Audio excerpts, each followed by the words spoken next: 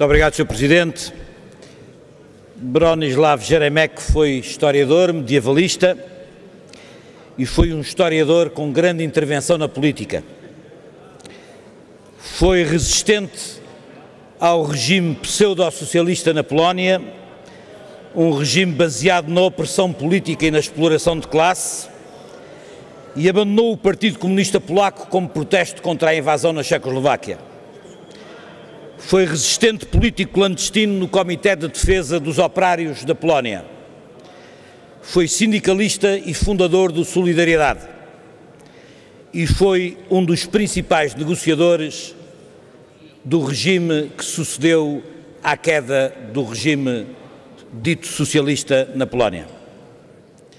Numa Polónia hoje em dia mergulhada em novas formas de obscurantismo e de clericalismo, Jeremek foi novamente um democrata defensor da liberdade de espírito, do laicismo e da separação do Estado e da Igreja.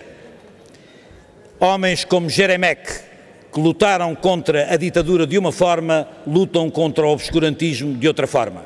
São homens que fazem falta à Europa e que devemos homenagear.